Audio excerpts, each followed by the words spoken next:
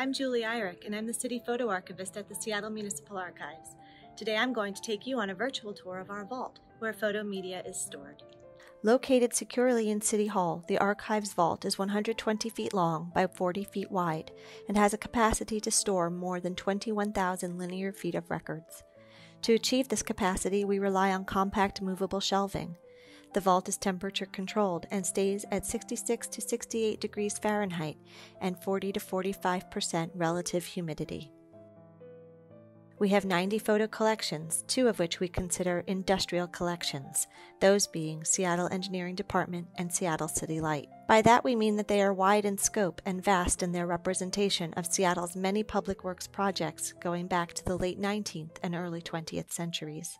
Both collections are primarily comprised of 4x5 black and white negatives, followed by slides and prints, to give a sense of the volume, we estimate that in the Seattle Engineering Department collection alone, there are 1.5 million objects. More than 40,000 of these objects have been digitized and cataloged and are available for download at archives.seattle.gov.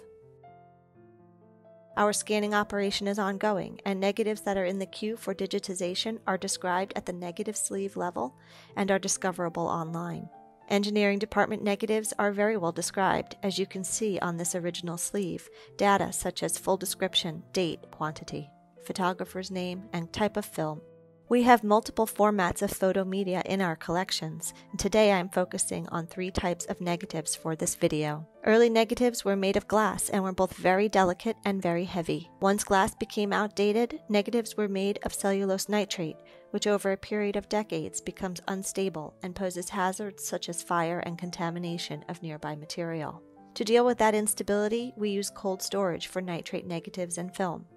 Our freezer is kept at or near negative 4 degrees Celsius and 60% relative humidity. Let's have a peek.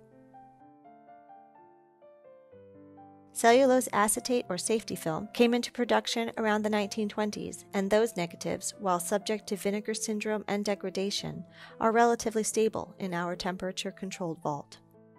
My primary goals as the photo archivist is preservation and access to these photo records so that they remain available to you, the public, for as long as possible. Thanks for watching.